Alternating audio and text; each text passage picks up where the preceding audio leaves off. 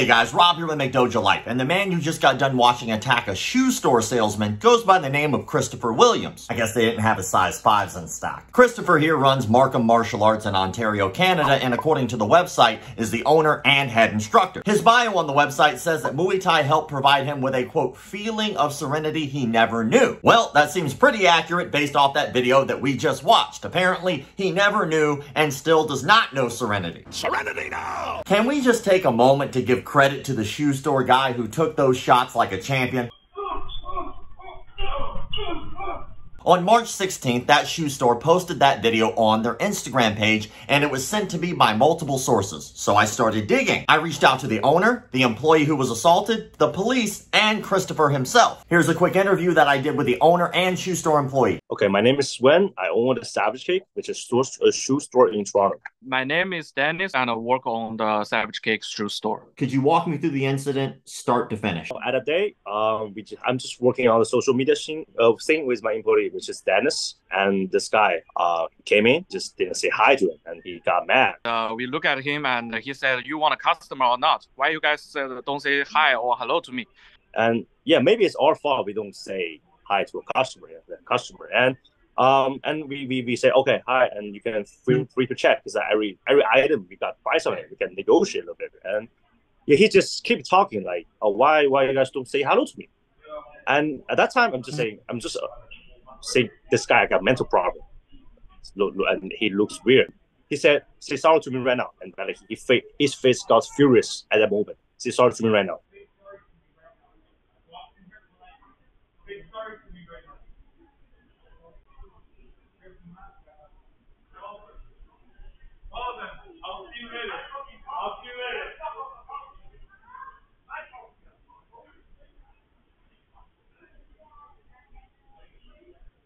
And all of a sudden, he just took out his phone and he's playing the vi- victim.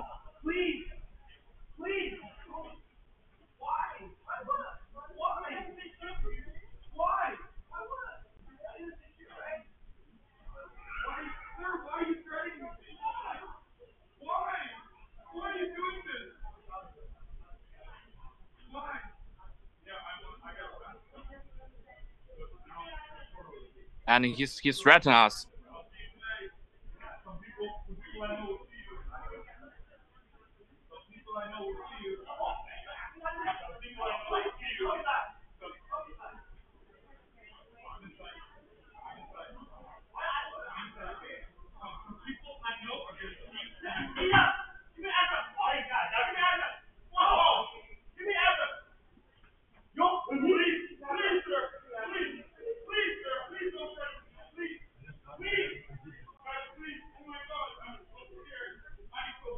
Christ.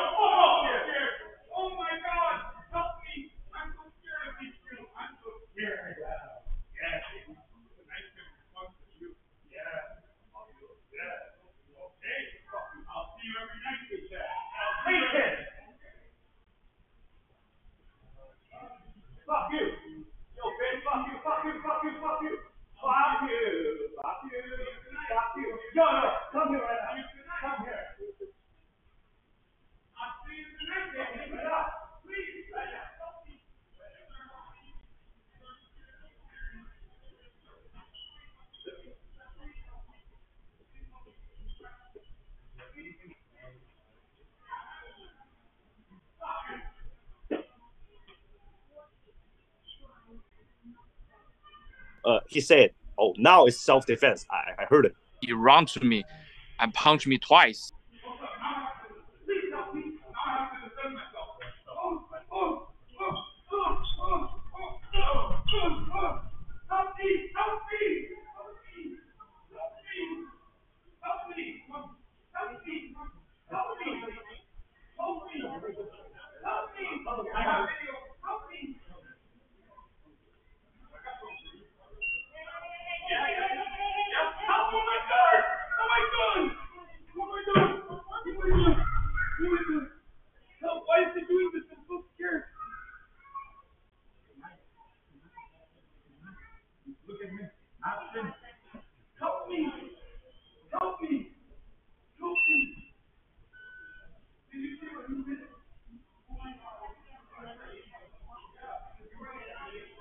The security uh, came and he just ran away. When, when the police first uh, came to my store, police have no idea who the guy is. is. So we, we found out who, who is he. Someone told me uh, he was a boxing coach. So we uh, search on the Google map and yeah, and we caught it. Uh, first place, first picture is him. So we called 911 and just reported. The property manager told me he punched two guys arguing with that with that two guys, and uh, he used his weapon to punch the Korean guy's nose.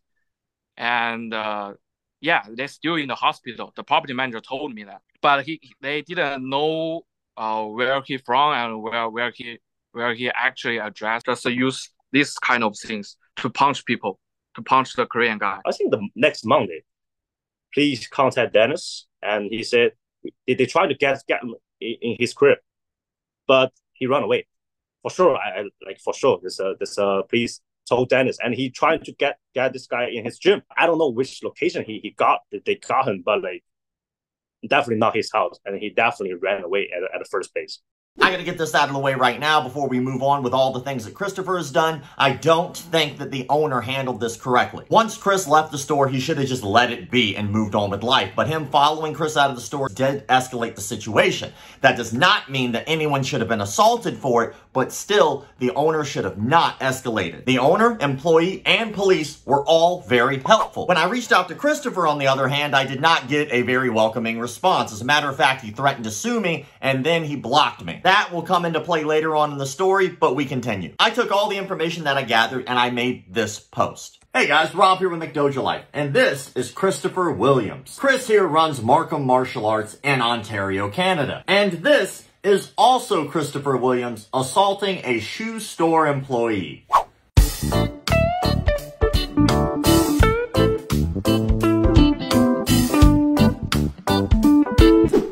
Clearly is not a smart man because he decided to wear his company logo while committing a crime. This made it very easy for the police to find him. Chris was arrested for this, and he is out on bail now and awaiting trial set for April 29th. After I spoke with police, they let me know that in fact, this is not the only time that he has done something very similar to this. When I reached out to Chris for a statement, he threatened legal action against me if I covered this story. Well, I guess you're gonna have to just fucking sue me then. Suck my balls. Oh, and keep the martial arts legit. As you can imagine, Chris was a smidge upset. Maybe it was the part where I told him to suck my balls. So in response, Christopher made a post on his Facebook account asking people to report my account. And then shortly after that, deleted it. But I guess that didn't work seeing as how my pages are all still up and in good standing. Suck my balls two times. One person left a comment on that post asking, so the video and arrest record aren't true. To which he responded, not real, sir. Ask him to provide you with the official documents and video of my face. Not real? That's right, he just denied ever even being arrested, which is complete I received this directly from the Toronto police. In relation to the incident you speak of at the shoe store, he was arrested for two counts of assault and possession of a weapon dangerous to public peace. As you advised, he has his next court appearance in April. I would advise you to attend the court and hear about the other charges in relation to him. You notice how it said other charges related to him? There are seven people attached to his no contact order,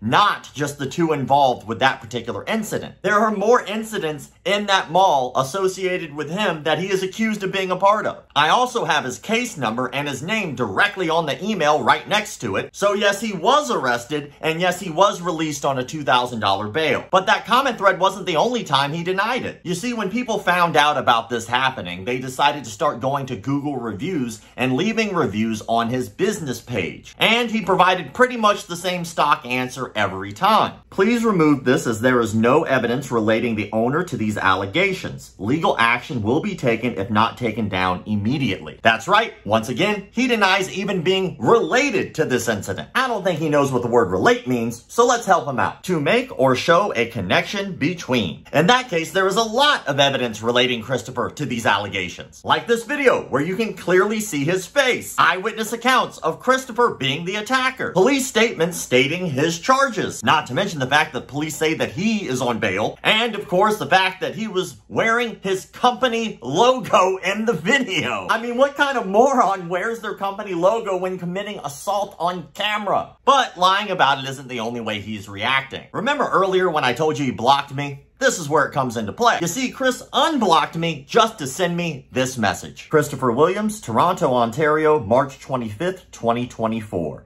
McDojo Life. Dear administrators, I am writing to formally request that you cease and desist from using any personal information relating to ongoing legal matters regarding Christopher Williams on your Instagram account.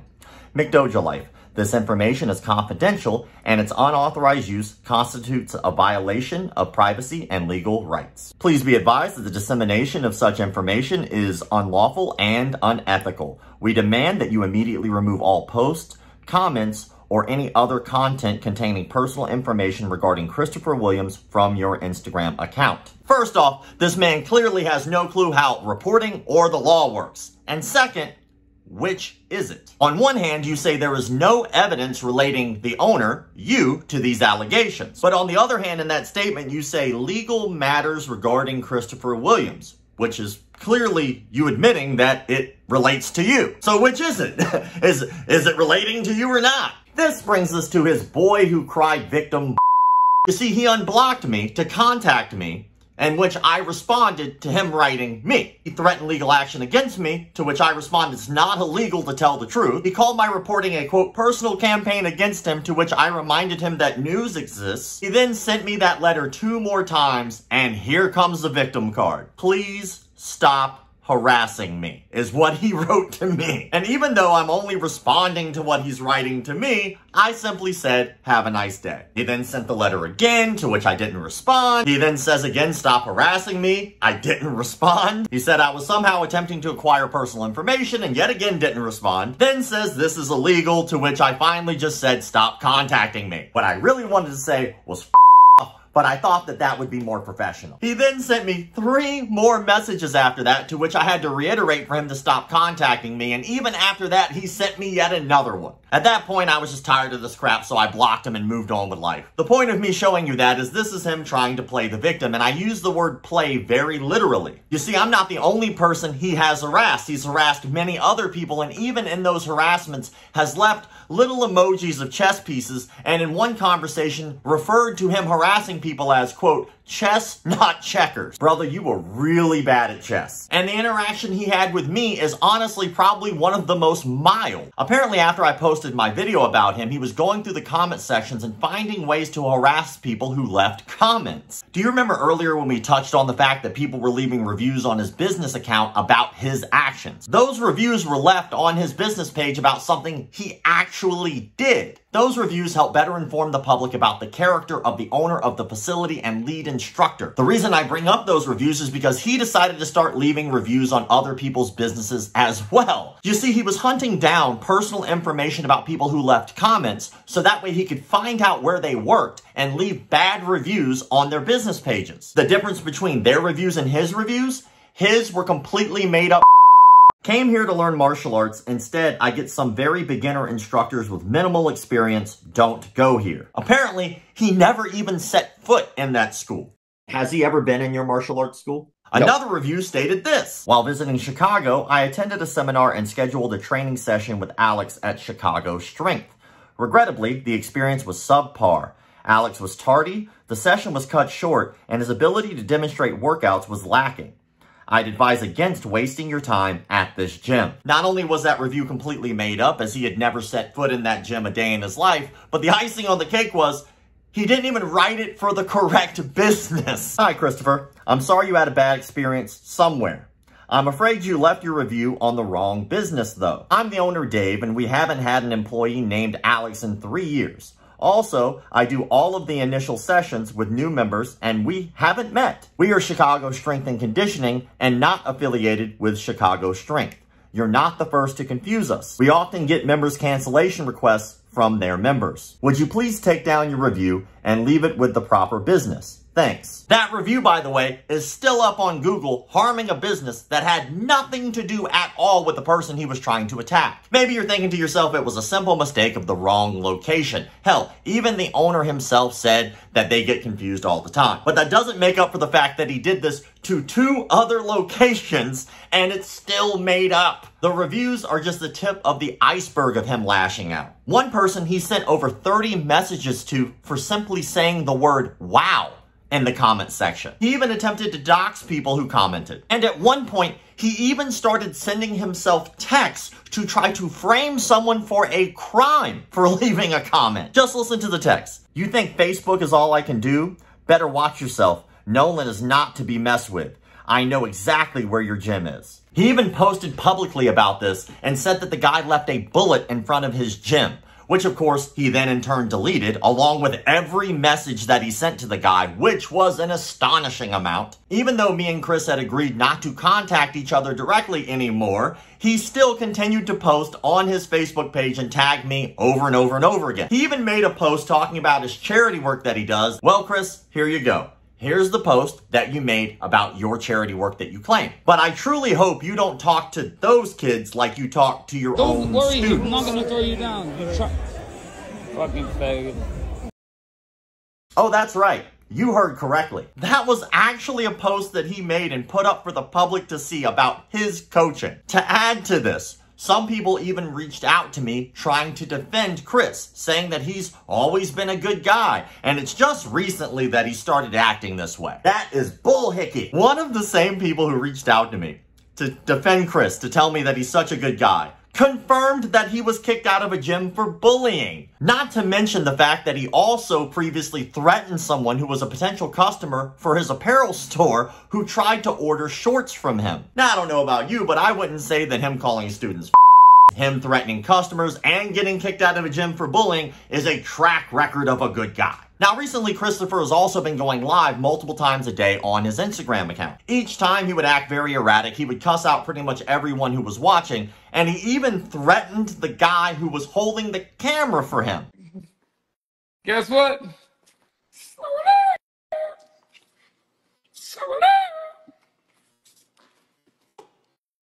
Okay, Coleman, we need more viewing space. Figure it out how to get more viewing space. It's too close. It's too close. Okay, Move I the got it. box. Stand up. Move the box. Stand up. Move things around. Figure it out. Please. I'm in your fucking face.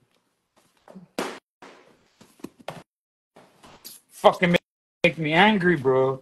I don't know why. Like if you're a fuck, like you got fucking Down syndrome, bro. swear to. Yo, Chris, chill. Why you make me not behave like this, bro? Turn it off, bro. All right. Why you can't do this? For the last couple days, though, Chris has been fairly silent, and if I had to guess, it's probably because he's been arrested again. Now, this is just a guess. Every day since I posted the video, people would contact me about his behavior, and it was becoming more and more erratic. He made a phone call to one person and threatened to kill their wife and child, and then posted about it as if he was the victim. He also threatened to shoot up a store in which he was also playing the victim. Police had apparently raided his house and found firearms that he was not allowed to possess. And when I called him out on all of these things that I just talked to you about, he does not once try to deny any of it. But out of all of these things, there is one thing that truly does stand out to me that gives me a little bit of sorrow for Chris. His so-called friends, who while all this was going on, were well aware that apparently Chris has some type of a mental health issue according to them. One of those comments stated the following. This is a former champion and professional fighter who is obviously going through something. With all the awareness about mental health out there, maybe you should lighten up. My response to him is the exact same response I'll give right now. I'll lighten up when I stop getting messages of him harassing people every day. Maybe Chris does have a mental health issue. Maybe Chris has a drug issue. Maybe Chris is just a psycho piece of garbage. But one thing is clear, he does need help. Standing by while you watch your friend implode and explode on everyone else, dodging accountability is not being a friend. See, every one of those people who reached out to me claimed that Chris just has some mental health issues. but not one of them, not one, actually made the attempt to get him the help he needs. You see, I didn't say the mental help he wants. I said the mental help he needs, which brings me to the 5150 Act. A person with a mental illness to be involuntarily detained for a 72 hour psychiatric hospitalization. You see, it took me about two minutes to look that up and find out that he could be detained if he's having some type of psychiatric meltdown. Keep in mind, while you so-called friends of Christopher were trying to tout about how much of a good guy he is, you were completely ignoring actually getting him any help whatsoever that he truly needs. Currently, I'm really hoping that he's isolated from people. I hope he's either arrested or I hope that he is getting the psychiatric help he needs in a mental hospital. But during that entire tirade, somebody who truly cares about him could have reached out and gotten him the help that he needed, but chose not to. I do not truly believe that Chris is always a bad guy. I believe that most people are shades of gray. I believe he has done some horrible things that we have just discussed. But I also believe he's probably done some good things too. That's just kind of how people are. Some people are more good than bad. Some people are more bad than good. I truly hope Christopher gets the help he needs. I hope that there's a support structure there to help him become a better man than what he's showing the public right now. This would normally be the part where I give out Dillman's, but I'm not going to do that. What I'm going to do is go straight to the question of the day. If you were a friend of Christopher yourself, even if you don't know him, and you saw him going down this path, what would you do in order to help him out? Because who knows? Maybe you know somebody who has had this happen to them before, and maybe somebody will watch this who's going through something similar and learn a little something from how you guys would react. Be sure to answer that question in the comment sections below so that way I know that you watched the entire video. As always, thank you all for the likes, comments, shares, subscriptions, and memberships. Keep the martial arts legit. My baby got robbed the other day by. So she wanted to learn some new form of self-defense. So she did her research online dude said he could move shit with his mind. He call himself Seafood Paul Zimmerman. He got a dojo with a strip mall near Cinnabon. Now she spends all day trying to break boards with her thoughts. But the only thing she's breaking is my little heart.